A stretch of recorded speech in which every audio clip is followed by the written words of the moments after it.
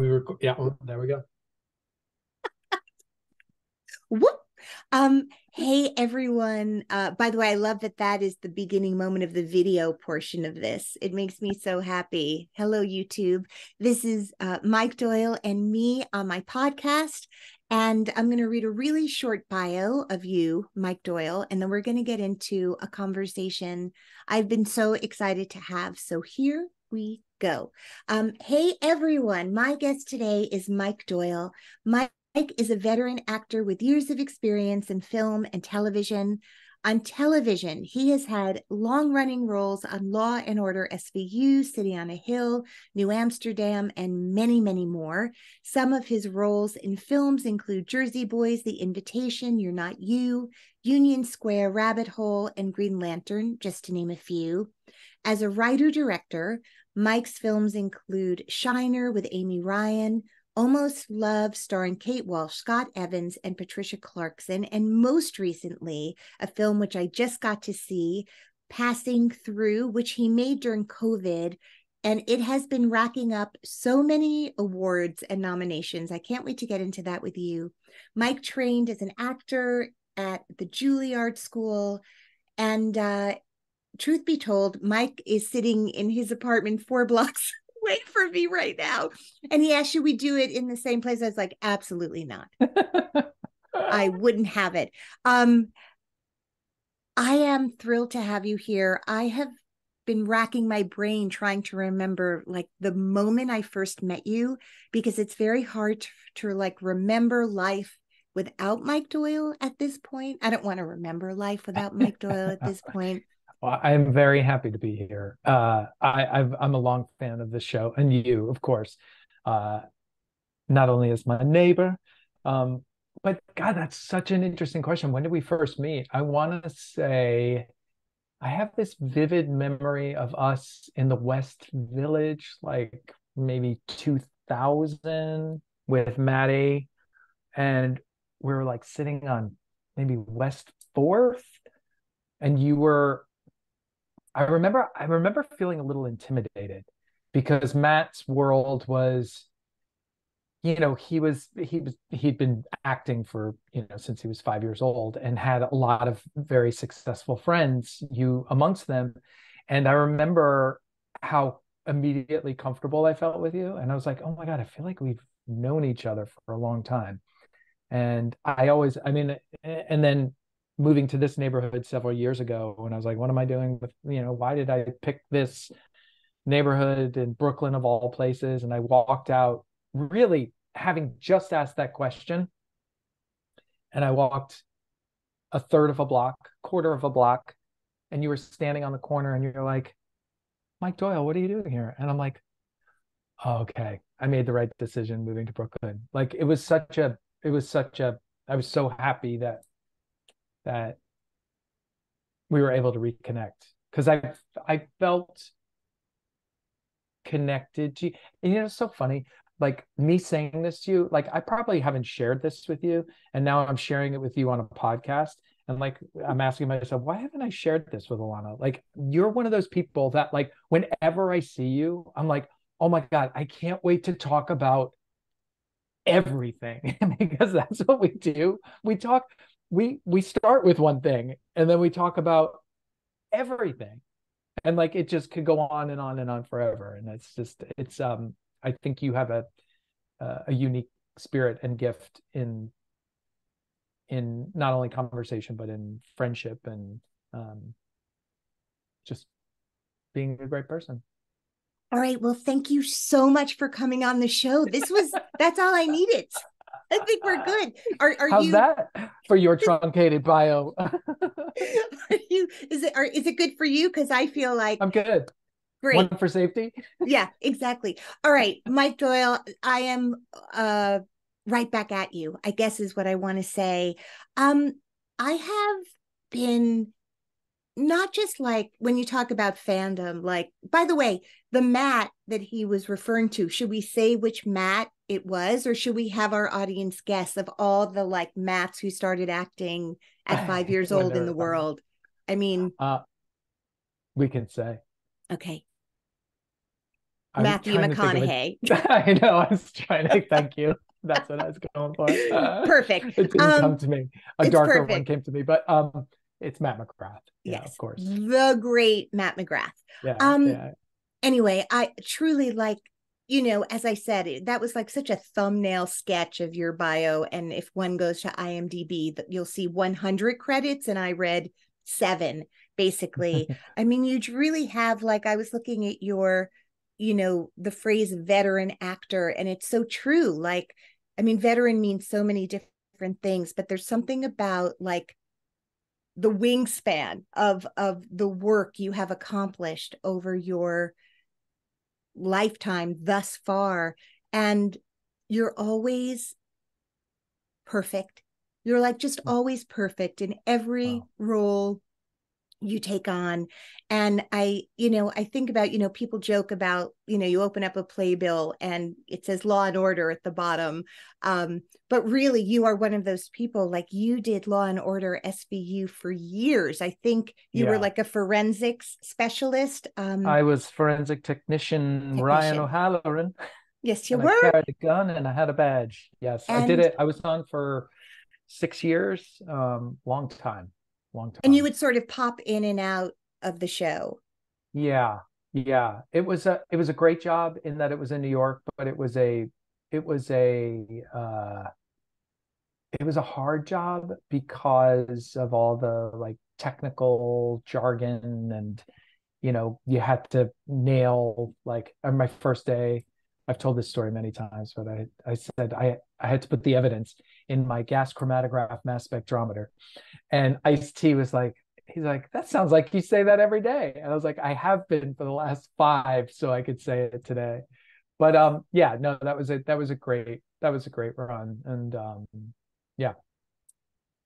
and also I so I guess I wonder, you know, I think of things you've done if you had to say because then you've been on New Amsterdam, like network television is so pervasive in in our culture and in people's homes and so I wonder as you walk down the street, like what is the thing that you find people notice you from the most?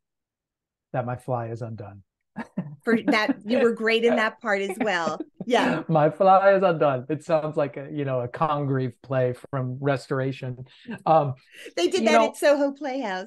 exactly i um you know eh, just back to your initial question or initial comment about being a veteran actor because i think uh you know i i, I consider you and dom and like a, a lot of our group veterans in that we've been doing this for decades. And you know I, I was on the picket line today and i was talking to joel de la fuente who i worked with on svu and john conlee you know who have been like we've been um i guess journeymen that we we've we've had uh we've enjoyed like really lovely success but it's never been it's never been uh uh, to a point where we couldn't walk down the street, for instance. So, like, I feel like I'm super lucky because, I mean, it's a, it's a, it's sort of a push pull because it's like you want to have enough recognition that jobs come to you more easily, but at the same time, I've been so lucky because I've played so many different parts and so many different people. Like, they allow me. They're like, oh yeah, you can play the crazy psychotic, or you could play the sweet romantic or you could play the the gay husband or the straight husband. And it's i feel really i don't walk around with like oh i'm so fortunate. But like when i stop and take a moment as we are now like i feel really lucky because i you know it's a hard it's a hard business. And all we want to do is tell stories in different ways and you know use our bodies to do it sometimes use our minds to write or direct them in other times.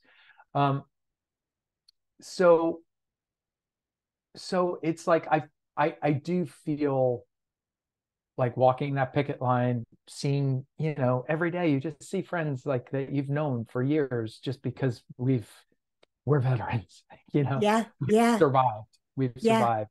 And um and I think that's like really rarefied air to breathe.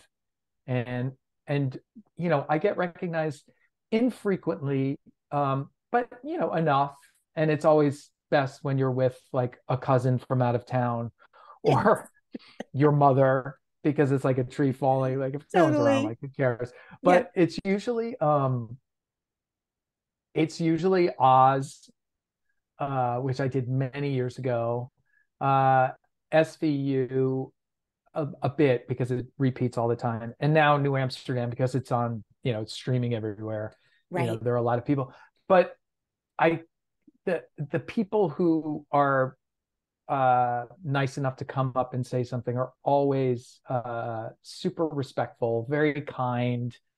And um it's it's nice you know? Well, I was thinking about, you know, Oz, of course, and then another role you did recently opposite Kelli O'Hara in The Accidental Wolf, which is also like, you know, Ariane Moyet created this really beautiful, dark, incredibly interesting mini series it's a, it- made for streaming basically i don't Yeah. even know what to call it Yeah. exactly um which i was such a fan of and also just i think about you know when you think of all the different roles you do it's the people you collect along the way like yeah the kelly Yeah. wolf who you know who played your wife and the and the amy ryan who you know we love who i just got to see in this movie you made uh Yeah. playing your sister and and passing through is a movie you know i told mike I, mean i wanted to have you on the podcast for so long but really when i just saw the screening of this film was it the soho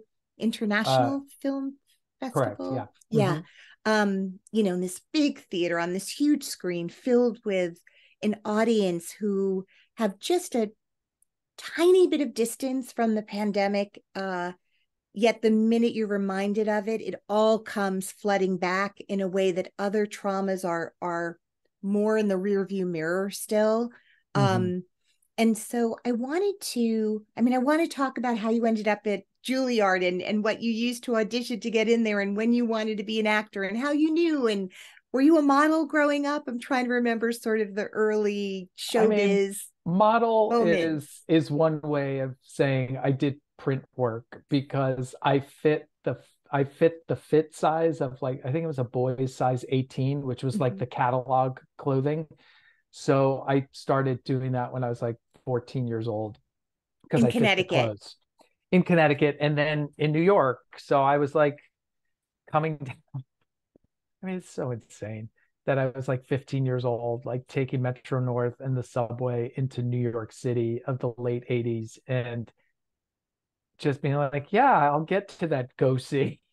And I was like with, how did you know to do that I, you know, I figured it out. I, I, I had a brother who was always um interested in acting and like was always like coming up with these crazy cockamamie schemes of like stuffing envelopes to like make money, like to buy grandma an El Dorado. I'm like, I don't think we're gonna get that much money. a lot of envelopes It is. Um, can you hear that? Wait, sorry.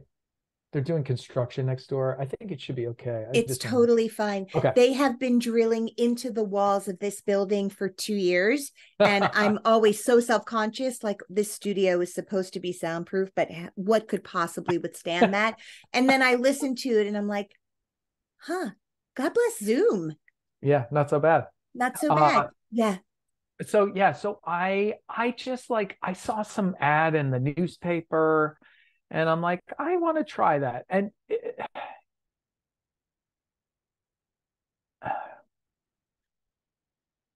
i've never really thought about why i started doing it. I think if i'm going to do a deep dive here i think as a kid uh, you know, I was a child of divorce and um, uh, and I don't think I ever felt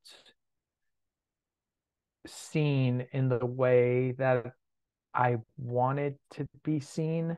And so I, you know, obviously I gravitated towards something that was so obvious, like someone will take your picture and you'll be in a catalog. Um, so I think I was just desperate to be seen. Um, and I also like, you know, I knew from an early age that I was gay, uh, although I didn't identify, you know, it was a different time. You know, I wasn't out as a, you know, as a 12 or 13 year old, but I knew that I was different and that sort of kept me well bullied for a time but marginalized and i i wanted to i mean it's why i became an actor too because it was something i was good at and it was something and so I just slowly I I took some pictures which I think I still have and they are atrocious. I sent them to this agency and you know it was passed on. And then I took some other pictures that were better. And I worked with this uh this agency in Connecticut called the Joanna Lawrence Agency. And I did like there was um the catalog work in Connecticut was like Reed's Kohl's, I don't think was around. Caldor, like there were some small things. Right. And then I built that up into something that I could take to New York. And then I ended up, I was with the Ford agency in the kids division. And that, you know, I, in my junior and senior year, I didn't have a last period. I would, I would get myself one thing that my mom said, she was like, if you want to do this, it's on your own. And I'm like, okay, we didn't have a train station in our town. I'd have to like either take a taxi or ride a bicycle to it. And then I would go down. I had my little portfolio. Right. I I have I actually have a formula. I still have it that, you know, before Google Maps, like if you said, "Oh, it's at 625 7th Avenue," there's an actual formula to give you the cross street. You take off the last number, you divide by 2, sorry, I'm going into such a deep. No, no, no, no. But come on, um, Rain but Man. I, but I, I figured it out somehow, and I look back like wow. at that 15 year old, and I'm like, how the hell did you do that? And um, and then I started. Uh, you know, I was always acting as a kid. It's something I loved.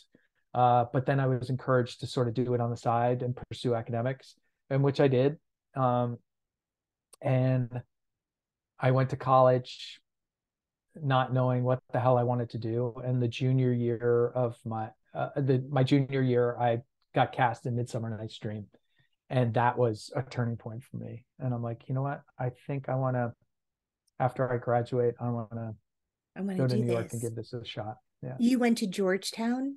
I did. Yeah. And mm-hmm. was there a theater department there, or you were just able? You could you you were political science major? Uh, economics. Economics, economics major. Yeah. That's right. Because I said to you the other day, you're so smart. Do you remember that? Like over and over again. I was like, you're so smart. No, all I remember is supply and demand. well, supply um, and demand is still a thing, has not yeah. changed. So you're at Georgetown, you audition, you get this play. Do you fall into a community of yeah. theater uh, lovers in college? People. Yeah. Steve DeRosa was at Georgetown at the same time ahead of me. And like he was in Georgetown didn't have a BFA program at the time. They do now. So yeah. what was wonderful is that it was open to everyone. Right. And it was just uh it was called Mask and Bauble. And um I didn't know what a bauble was when I when I first wait mask joined. and and bauble B A U B L E, bauble. Like a little bauble, like a yeah, like baubles, a, bangles, and beads. That's what it was. I wonder why that was the name of a theater company, just in in honor of like costuming Mask and Bauble. Mask and Bauble. Okay, that's good. Let's know. open. I want us to open up a cafe in our neighborhood called Mask and Bauble. It's going to be fantastic, you guys. Next time you're in Brooklyn, stop yeah, exactly. by. Come to Mask um, and Bauble. Come and to Mask and Bauble. Bauble tea. Um, Bauble tea. uh, but uh, no, but it was just a, it was just like a bunch of misfit toys, and we there were you know there were the big productions, there were smaller productions uh you know sometimes i had great parts and then other times uh in equus for instance i was cast as a horse not the horse just a horse. No small in, parts mike. No well, small parts. Yeah. just small horses. Uh and you know, uh, my brother, who I referenced before, be, he now lives in California, has a family, he's a physical therapist, but he was going, he went to American Academy of Dramatic Arts for a year, went to NYU, and he was living in New York and trying to be an actor. And so I already had like uh, a representative who was like sending me up for commercials and print stuff. So I sort of had a little bit of a foot in the in the world and he was doing it. And i told him i said i remember this conversation. I said i think after i graduate i'm going to come to new york. And he said don't do it. He said don't do it unless you really really are ready to pursue it and know what it entails. And and i you know i say that to kids now because like if me saying that stops them then they should do it. Um, and I moved I moved to New York. I became a waiter, did a Meisner program for two years. And at the end of it, I was like, I need some more questions answered. And I applied to Yale to their master's program and I didn't get in. And then the following year, uh, someone suggested that I apply to Juilliard and NYU's grad program. And I and I did Yale again the three of them. I didn't get into Yale a second time, but I got into NYU and Juilliard, and um, and I was you know talking with John Conlee today and Joel. Their class was graduating when I was looking, so I saw produ- I saw this production with John Peterini, Billy Crudup in the black box at what is it five something Broadway at NYU. I saw Robin Weigert in this play. It was also in a very small theater. It was a snake handler play, and they had actual snakes. And then I went to Juilliard, and Carrie Preston was playing Sonia in Uncle Vanya on the main stage, and they had this this Persian rug that was probably like 30 feet by 60 feet. And I just said, I want to act on that. Because I want to act on that rug. Aesthetic, as we know, uh, for those of you who haven't yet been to Mike's apartment, you'll know he has exquisite taste. Oh, also, Carrie Preston sweet. was just on the on the picket line. Like these people are still. Yeah, we were. I actually here. saw her today. Yeah. Yeah. She's, yeah. God, I mean, that's what's so incredible sort of the community. I love it's also random right? Like i would prefer to act on that rug than with a snake. And and therefore i ended up at juilliard. When you look back at your time there uh you know i've had a lot of people on this podcast with all different kinds of relationships to their time at juilliard none of them came away going if i had to do it again i wouldn't go there almost to a person. All yeah. of them coming away with i wish then i knew to advocate for myself in this way or to protect myself in a certain way. Yeah. Um what what would you say to that years later and sort of your experience being in in such an intense acting program usually when people ask me how was Juilliard, I say I always say the short answer is it was great. The longer answer is you know do you have a couple hours? Yeah. Um, it you know training programs you know and training is so different now uh, than it was then, especially in light of the last you know three four years.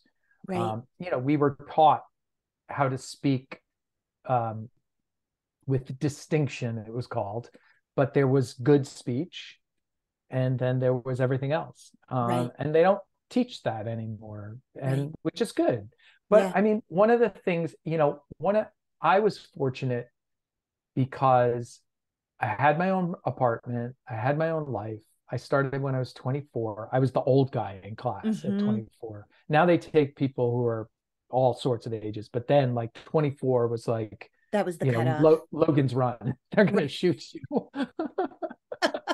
you um, just made it. You just, just made, made it. it. Yeah. I was like putting, I was like, I'm 24. No, I mean, I was, but just a little bit of tape and some soft lighting.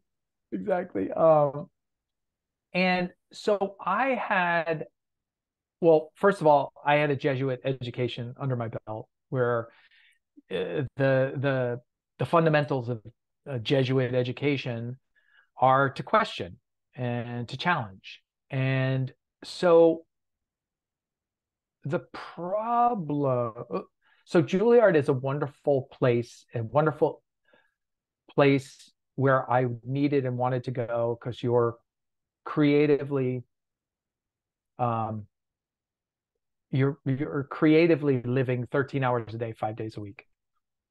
Um what can happen because there are kids, you know, my dear friend of mine who's in my movie, Kevin, classmate, he was 17. He was a he was a young graduate of high school.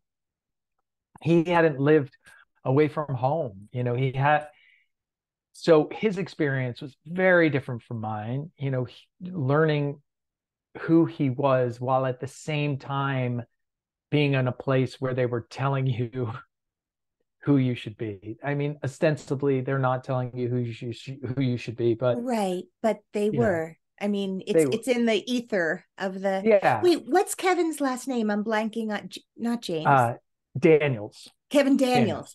Yeah. Uh he's such a beautiful actor. What an Oh, yeah, extraordinarily beautiful actor. And we'll talk about him when we get to your film in a little he's- bit. He's just a and a lovely, lovely person, spirit. Just Yes. amazing. And the idea that I said Kevin James, if you put the two actors' photos up next to each other, um, I You'd be like, hmm. no, no, wrong one.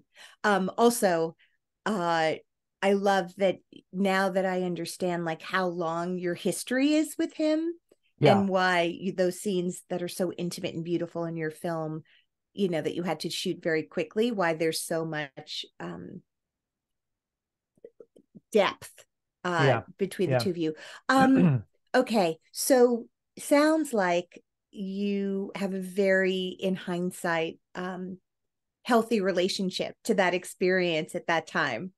I do. I, I- you know, I do. And, and again, because I felt like I knew what I was there for. I knew what I wanted.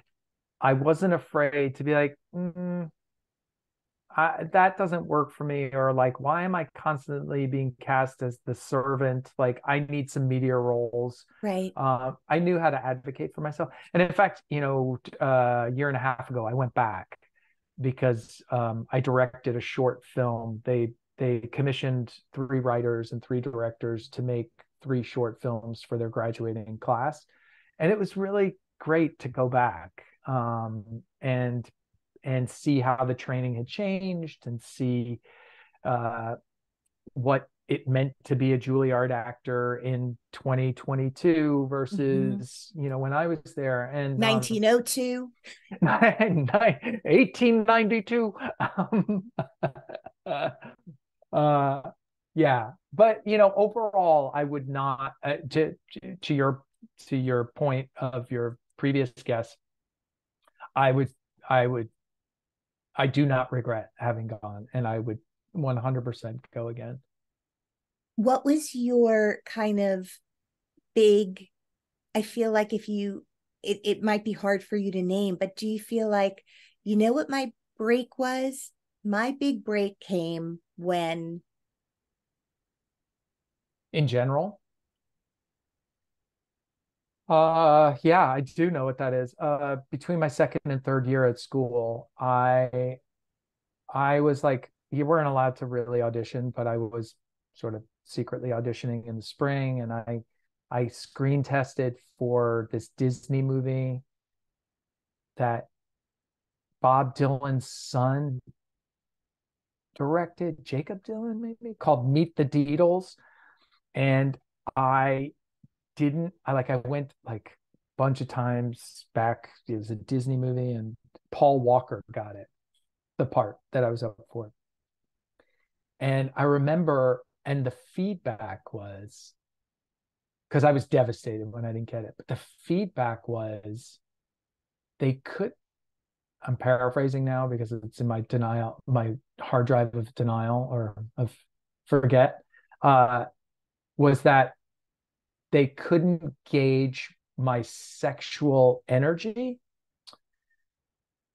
And the part was this it's this ridiculous comedy these like two surfer dudes and like i guess i was but i but i i took that and i was like oh i was like is that code for he seems gay or is it more like what i think it was i was hiding and by doing that i completely cut off any sort of sexuality. I don't they weren't saying like, oh, he reads gay, but it was like, we're not getting a sexual vibe. And I think like as you know, like that's so important uh, in sta- on the stage in TV and film like there has to be like there's got to be a sensuality a sexuality like however it manifests itself right right and so anyway, you asked me what my big break was. Um, so shortly thereafter,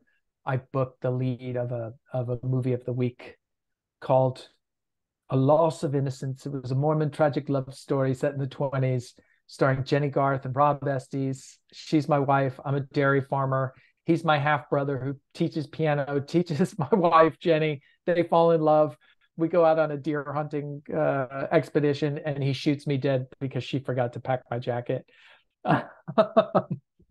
so, and then I went right into that. Those producers that summer were doing the mini series of Titanic because it was the summer of 96. So they were racing to get a television. Uh, the television uh, version. Yeah. Yeah. And I played the Leonardo DiCaprio role, but I was my name was Jamie Purse and I was English, and um, that miniseries sank just like the Titanic. It's but you Catherine Zeta Jones. Yeah, it wow. was great. Catherine Zeta Jones was in it. Peter Gallagher, Tim Curry, George C. Scott, Eva Marie Saint. It was like Roger Rees. It was like it was huge. Wow. And wow. and then I, you know, and then I went back to school.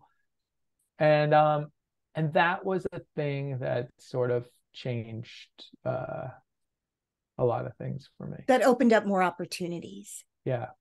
Yeah. So i think about you know i mean i remember seeing you in jersey boys and just going oh my god like like there's mike in this huge clint eastwood movie and and thinking about the Clint Eastwoods and the Nancy Savocas, like these incredible directors you've worked with along the way, um, on television and and and on film, and wondering sort of as you which I just love about you. Like you are always creating, like you are an actor who's always working because even when you're not on a set that someone else has hired you for, you have really just loved making stuff. And some of it's fun and silly just you know to spend an afternoon. And then some of it has ended up to be like these powerful wonderful movies. One of them like there's i think it was called sell by right originally? And then it mm-hmm. became yeah. almost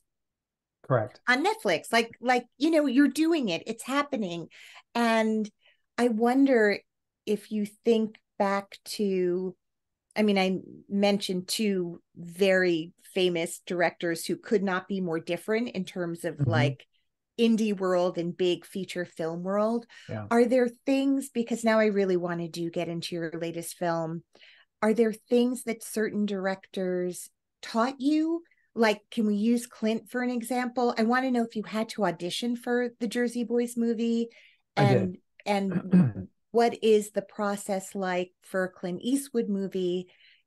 What's the process for Nancy Savo, you know, an indie darlings movie, and what you took from those two, just for example, um, Yeah. into your own directing life?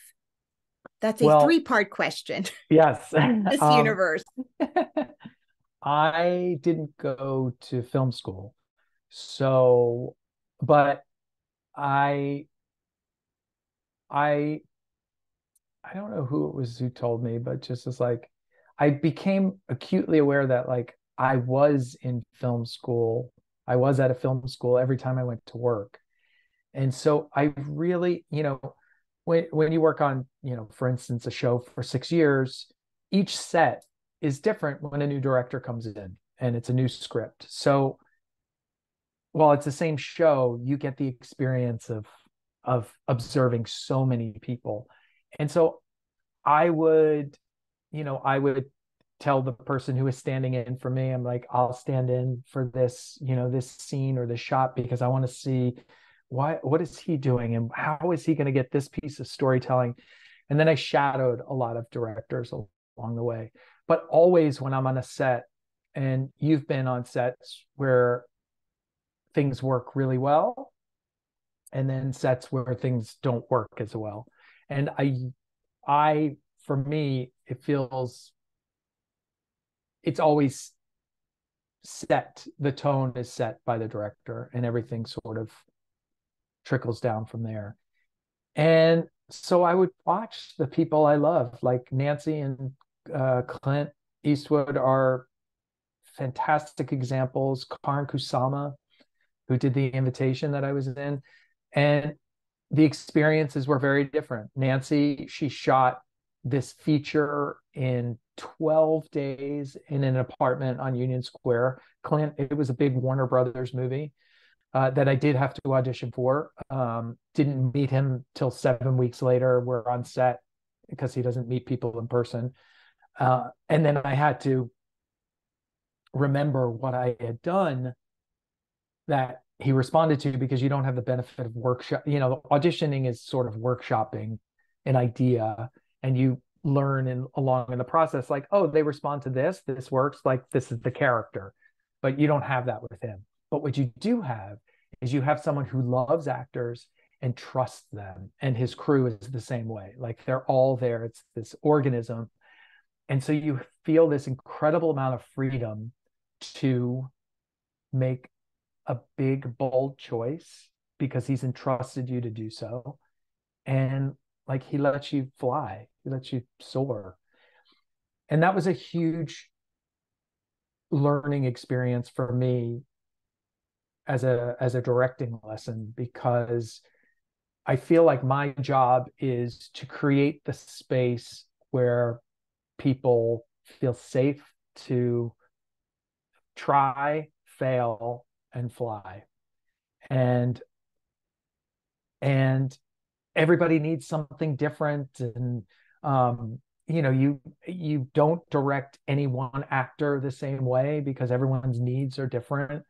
Um and so i was uh, to answer your question i learned from real masters. Karyn for instance you know that we shot this uh, semi-single location uh, in a month.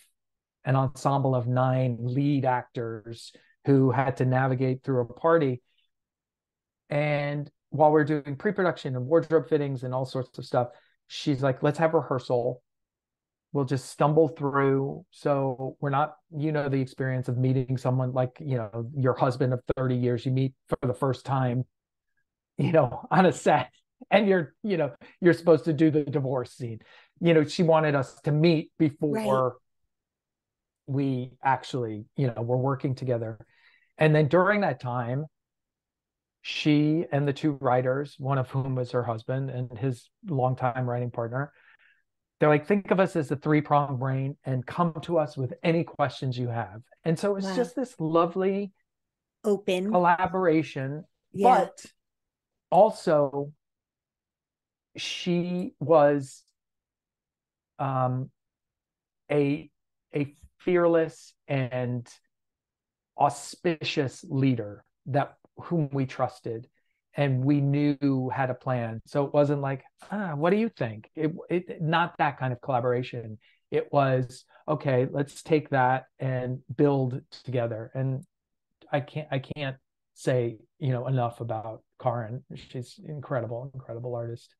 Well, thinking to like, uh, and then you are walking on a set, whether you're in the piece or just directing, writing the piece with really famous people right?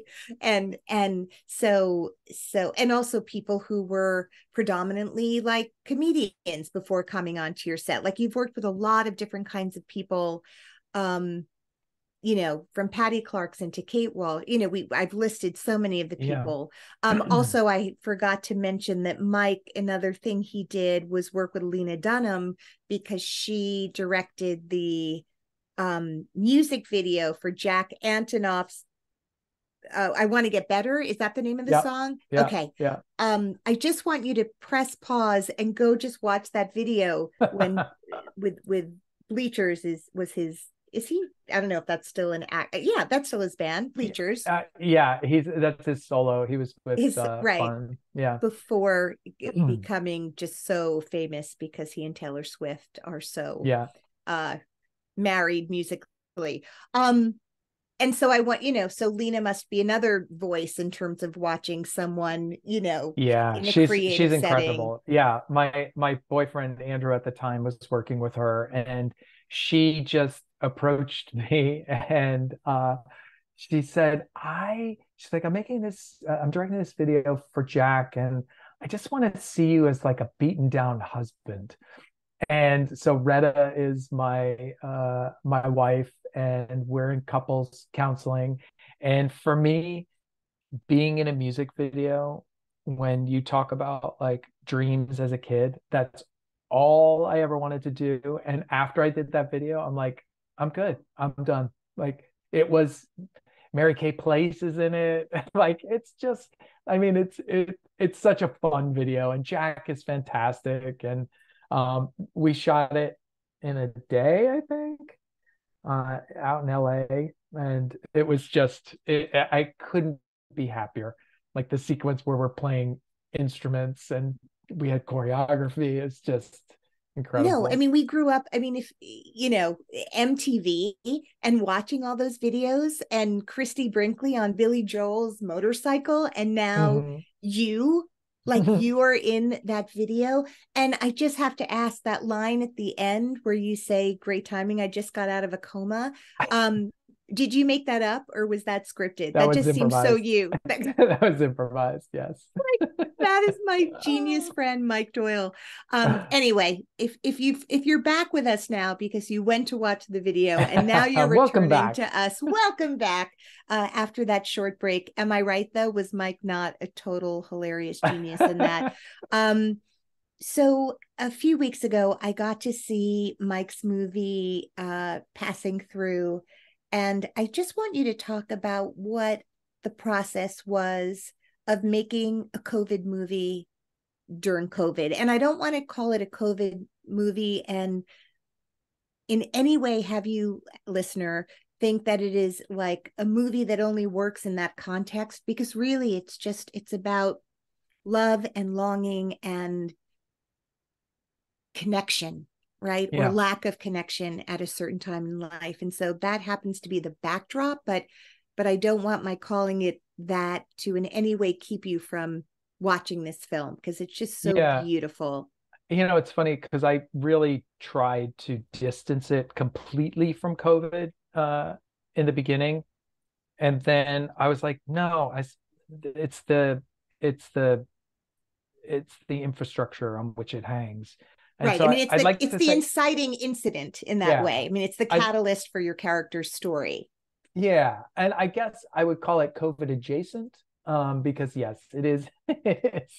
I think uh, that's fair. Let us call it COVID adjacent. We're yes. in the flats. We're not in yes. Beverly Hills. We're in the flats. We're adjacent. Uh, so that came out of yeah, I had made the first feature more traditionally, uh, raised money, you know, had big cast, big crew. uh, bigger budget, not huge budget, and um, and then during COVID, uh, you know, I was locked down like everybody, and just sort of creatively uh, thirsty, and I wanted to see my family, so I thought, you know, this is in May.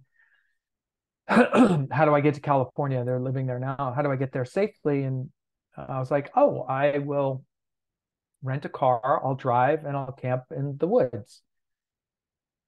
I've camped, not a camper, but I'm like, I, I will figure it out because I wanted to like bump up against something. I needed to be challenged. So I ordered a tent on Amazon and a cooking stove, and I set it up in the apartment. And I was having trouble with the stove and I slept in it one night and the next morning I had this idea. And then I just let this idea sort of percolate. And I'm like, I think there's a story in here. And I want to try to tell it. And it was always a feature, it was never a short. Um, because it was it would be too cumbersome as a short. I mean, as a feature, it's you know 72 minutes, so it's a shorter feature. Uh, but so then I just sort of builds out what that story could be. And at the same time, I was really affected by um, just the news of frontline workers dying by suicide or death by neglect. And so that resonated with me. And and then you know i knew other people had to be in it. Kevin was the first part i wrote in it because i knew there was a relationship. I knew that i knew the end. I knew that there was going to be like that you know that there was going to be a flip at the end and then i added the character of the sister amy who amy plays. And you know i was lucky enough i you know i did that after. So i went on this cross country trip uh, across 14 states over 10 days. And i would get up every morning. I had a tripod i had a gimbal i had external hard drives and like stuff to hook it up to the to the car because you can't keep i was shooting in 4k oh and i shot on my iphone forgot to add that. But it was a lot of um, data that I had to dump every day. But every morning I'd get up and be like, okay, I'm going to shoot this scene, spend three, four hours, or shoot multiple scenes, and then, um, but it was scary because it was my second feature, and so I definitely had put a lot of pressure on myself for what that should mean, what it should signify, and what I should achieve as a result of it. And I had to get rid of all of that. And I ultimately was like, this is an experiment, and I'm and I am willing. I said this every day. I am willing to throw it away and press delete at any stage of the game where it's not working. And I almost did. I mean, many times, but you know, I'm glad I didn't. I'm so glad you didn't too. And obviously, I mean, I think so much about how isolated people feel. I mean, all the time. Yeah. That that happens to be something that more people experience during the pandemic, but it's a way of life for many, many people. Um, mm-hmm. but heightened by you're taking yourself on a road trip alone. So all of yeah. the comforts and distractions of home that we have, um, yeah. you stripped away from yourself.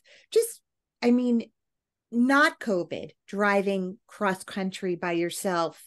I mean, I'm, you know, I'm like, I took a walk alone today. Good for me. right. Like, you know, we have, we as people all have very different relationships to being alone or or carving out time to be with oneself. So are you a someone who's generally comfortable in your own company and what surprised you about being away in your own company with no distractions of people you knew for almost two weeks in strange places camping no beautiful carpet uh, that no. carrie preston was was acting on like like just talk a little bit about being scared lonely uh, were you worried like at any point did you think you had covid but you were alone on this trip like anything that comes to mind it was yeah, I mean, I had a hunting knife that I also bought on Amazon, and I had a bear whistle. So I had I would sleep. So you were set. Whistle. I'm good. You guys, I'm good. that seems like um, also good Halloween costume stuff that i am going to borrow from you later.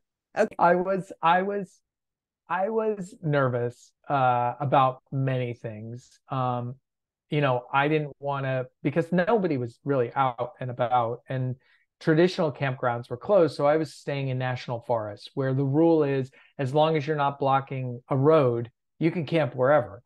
So you'd find in the forest, you'd find like a dirt path, and at the end of which there was like a, a ring of rocks where someone had a fire. So you're like, all right, people camp here. But I like every night, I would be like, where am I gonna stay? Like there's no like, there's no like uh I mean, I'm sure there is campsites.com, but like there's no like, you know, random campsites.com that like, and I'm sure I'm sure there are. Someone's going to be like, but Mike, think um, about little Mike who came into the city and figured out like if I divide, I take the last number off the street address and divide it by two, and that's where my audition yeah. is today. Like, like you're good at this. Of, I don't think I was thinking about him at all. I think I was oh, thinking about adult Mike. But he was he was with you. I hope right. so. But but then I was also like adult Mike. Like I'd find a spot and I'd be like, eh, see if I can do better. So I was like already upgrading my room. Um, but I found these places and I just was scared that you know I wasn't going to, you know, disturb the, you know, the the the lemur colony that was there or the, you know, the jaguars. I mean, they not jaguars, obviously. Or or less America. exotic bears. Yes. Or or folks who might be holding a rally for something that was not in my best interest. Like exactly. Uh so that was not without stress. But also like camping is a little boring. like you you go to sleep when the sun sets right. and you wake up when the sun rises. Like i had my little uh stovetop stovetop coffee maker. I bought all this you know food packaged and canned you know so i didn't have to stop. So i would cook you know my trader joe's chili and stuff. But making the film gave me something to do every day that was like right. really fun. Because i'm just like oh i'm going to set up the tripod here and maybe you know like and it was a great lesson for me because you know when you're directing you're working with a cinematographer who is there and will make sure that the pieces that you have the pieces to put together to assemble right. a scene. Right. They're thinking of the editor. I mean they're they're already yes. on the other and side of this process. Yeah. I try to do that. One of the directors that i worked as an actor with graham clifford used to be an, uh, an editor and then became a director. And i learned i was like he's like, I'd be like, oh, I messed up in that take. And he's like, I'm only using the first part and the last part. I'm like, what do you mean? And he's like, well, I'm going to edit that part out. And I learned that that was on the Jenny Garth thing years ago. So to think like an editor and think of like how to assemble a scene and like how you cover or not cover. And um, it was a real, it was a real learning lesson.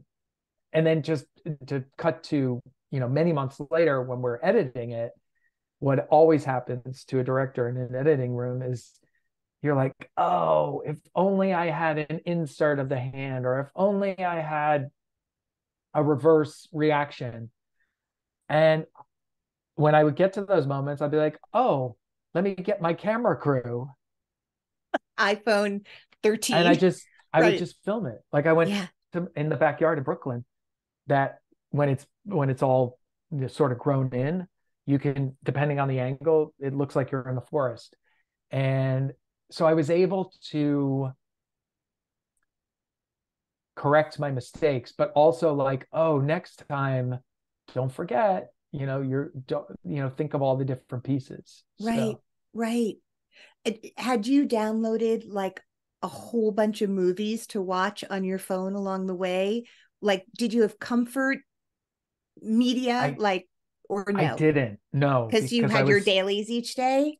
Well, I As did. I had I had to dump them at the end of the day. I didn't watch yeah. them, but I also was like protecting the battery. You know, like I had to keep everything charged, and uh, I read like I had a book that I was reading, and you know, but camping is hard. Like you have, you know, and I was also driving, so I was, you know, a lot of the day, six hours, five six hours, I was driving somewhere, and then setting up your camp and then cooking your dinner and then clean, washing your plate. Like it takes a lot. Like frontier living ain't, ain't easy. You you laura ingalls were exhausted by seven basically yes, as soon as the exactly. light went down so when you watched you know i i went to this premiere. I got to sit with you and amy ryan who hadn't seen it yet and so yeah. it was yeah. wild sort of to be so close to her response to seeing it, even though she knew so much about it and had been in it, um, yeah. that must have felt really wonderful that she felt so moved by it. It did. I, I mean, before that, it was, I was very anxious because I hadn't had a chance to screen it for her. And, you know, when you ask a friend, you know, and I also, when I asked her, I was like, I was like, I'll shoot you out in three hours. I was like, come oh, down to Brooklyn. In, wait, in how long? Three hours. Oh, three hours. Three That's hours. a good job. Yeah. Yeah. And, but the night before, I sent her, you know, that monologue basically. So I send her all these pages and she's like, okay. And she was game. She was down for it. And I, but I hadn't shown it to her. And I'm like, I was, I just wanted to I was so worried that she wouldn't like it or the audience wouldn't like it or it wouldn't resonate. Um, and and so like that screening particularly because it premiered in Italy and I think because of the language barrier it it it seemed to play well there but I I couldn't sort of sense the energy like I could that right Sunday it was hard afternoon. to gauge yeah. And it was you know amy was next to me and you know she was visibly moved by it and that felt that felt great. It felt really good. Now this movie is not for everyone and you know uh well it's not for monster people. But no. i would disagree. Unless you're a monster no. i don't i don't know why. I mean you you can you can expound upon that thought but i think it is for everyone. Like if you have a heart in your body that's still oh. beating it's very much for you. It's so guess, beautiful mike. Thank you thank you. I, I thank you very much for saying that. I i guess because it's um it's it's particular in its um delivery mm-hmm. and i i think i'm in many ways still processing you know what the film is mm. um and and uh, you know a director once said you know I, I, don't make movies for everyone because if i made a movie for everyone i'd make a movie for no one mm-hmm. um which i think i understand what that means but like you know i i was interested in in in trying some new things out making some bold swings um the first time I've been in something of my own that I've directed, which was was like so like the last thing in my mind every day. Like I wasn't even thinking like, you know, because if I were directing me, I'd be like, you might want to do another one, you know, and act a little better. But I just needed better. to get the, yeah. I needed to get the pieces.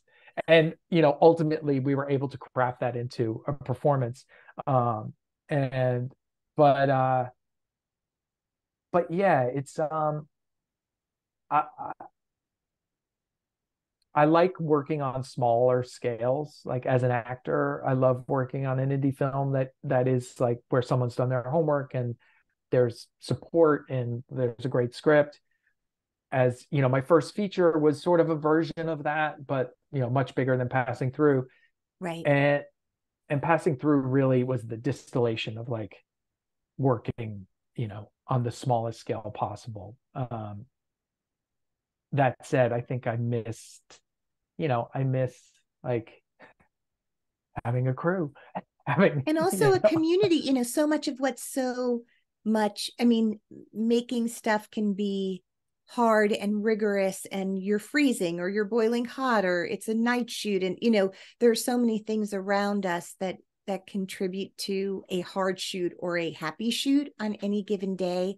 But the constant is a community that is yeah. built around that project. And i think for people like you and me who really love people and and conversations as you said earlier like you don't know where it's going to go i mean the magic of being on a set even though the long hours and the waiting in between shots, that's where you have the most incredible conversations with other artists. Yeah. It's four in the morning, you're so friggin' tired and cold, yeah. yet you're sitting next to someone who you could quote back to me 15 years later, like, I had this incredible conversation with so and so and it's yeah. still with me to this day it's why yeah. all of these wonderful people do your films because you've worked with them in the past and they've just had a remarkable time making a new friend in Mike Doyle along the way.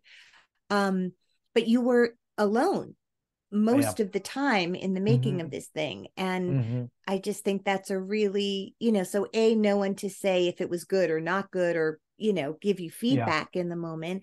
I also think, like, yeah, not for nothing, to, I was really proud of you for casting yourself in this thing sort of as an exercise, yeah. which, as you said, you could hit delete and erase the tape at any time, but you didn't.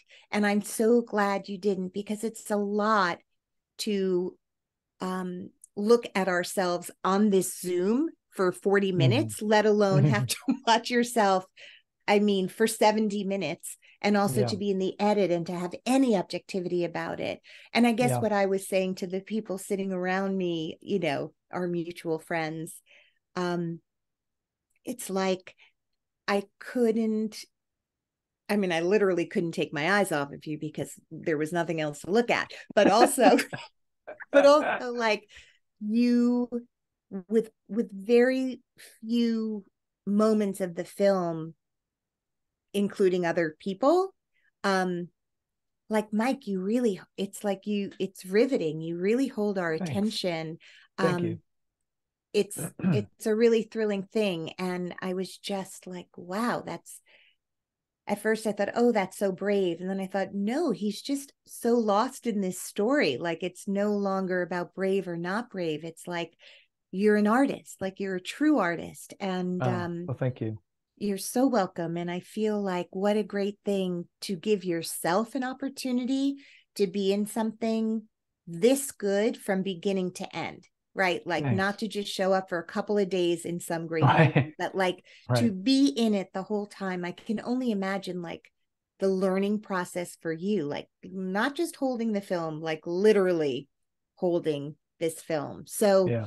I just want to say huge congrats. I know you're at the very beginning of the journey with this movie and and when this comes out it may not, you know, we might have to set up a postscript about how more people get to see it at the yeah. time.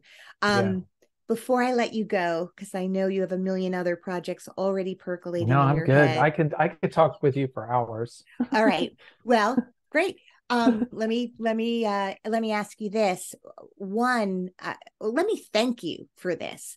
Um oh please. you My have pleasure. been well thank you for this. Thank you for your movie. Thank you for your work. But you have also been thank you I for think, being a friend. truly i think as we record this on october 31st it is the 100th and what day of the Screen Actors I think it's 110, 109 or 110. 109, 110 on yeah. the heels of uh a long writers guild strike the other yeah. union yeah that you are lucky to pay dues to as well um i am i am just so in awe of your showing up every day rain or shine like the well postal i service. tried it i tried i don't show up it's not every Okay. day. I don't want to be hyperbolic. a lot. a lot. yeah i you know it's I, I say you know f murray abraham who's 82 years old shows up every day Yeah. and if he can do it then you know i can go out and support uh just you know sidebar the um passing through was shot on a uh micro budget sag contract so we're able to talk and Yes. promote and all that kind yes. of stuff Yes. um just you know but thank you to- for pointing that out. I I I was going to all. Say that at the beginning and now I don't have to. No, no, no, no. But um, but look, we're in a we're in a um we're in a uh, a very particular time in terms of workers and corporations, and it's important that we fight for what is right. And we, Can we you did it with the elaborate? Writers Guild. Yeah. Yes. If you were if you were at the table today and and literally could say like in in very basic terms this is why I have been striking every day as opposed to for what is right like Mhm. like if if you can without feeling uncomfortable be more specific what for you Mike Doyle is the thing obviously we don't get to decide we can sign or not sign when they when they Right. send out you know the the final agreement but but i feel like everyone has different things and that are the most important to them Mhm. so do you know what is the most important to you that you go i sign this comfortably because Uh, uh, yes. Um, I don't know if I can put it in like a one sentence sort of distillation, but I think that streamers and studios uh, and corporations, because some of these players are corporations, are making a lot of money that is derived from the talent and uh, labor of a creative force. And there is a pie of, of revenue that comes out of that. And we're asking for our fair share of that pie. It's not half the pie, it's not three quarters of the pie, it's a sliver. And I think that is not a lot to ask. Uh, some might argue that we should ask for more. Um, but what is happening, as is uh, mirrored in many other professions, that there is a polarization of resources that are going to a very small, select top few, and everybody else is fighting for crumbs. You know, I've been doing this, uh, you know, since my 20s and i can't tell you and i'm sure you you deal with this and dom i know must deal with this it's like you get an offer and you're like that that's less than i made 15 years ago. And it's like how how is that possible? And it's like do you want it? And they're like yeah i want it. Do you want to walk away from it? No. So we sign whatever because we feel excuse me we feel um beholden in a way. Um, but now is the time where we're not signing and we're fighting and we're demanding more. Um, and so I I am I am hopeful that like the Writers Guild, Screen Actors Guild, uh, will get the same fair deal. I mean, there are other things that are that are you know sort of existential make or break uh, items such as AI. Um, there, there are a lot of things. That said, when we get this contract, people have to remember that this contract isn't going to right the wrongs of like a profession that is not a meritocracy. It's still going to be a hard, hard job and a hard life to be an artist, to be a creator.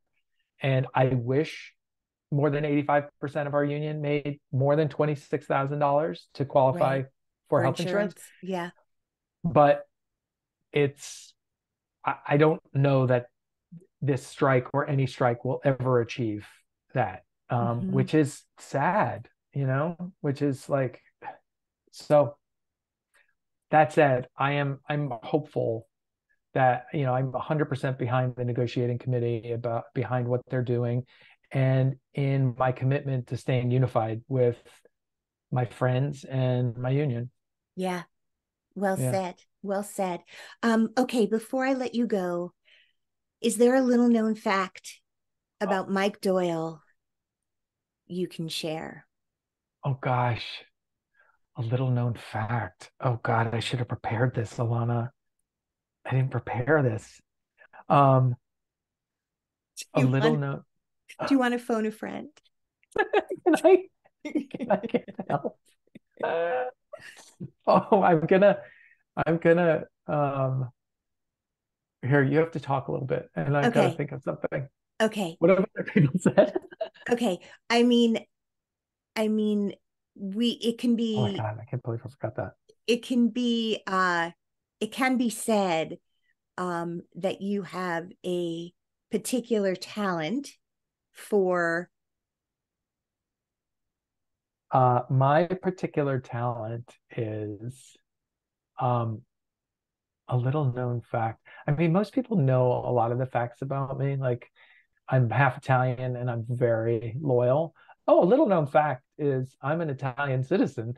Um, but that's not really uh, what you're no, but, for. But that, of course, it is. I mean, that has been.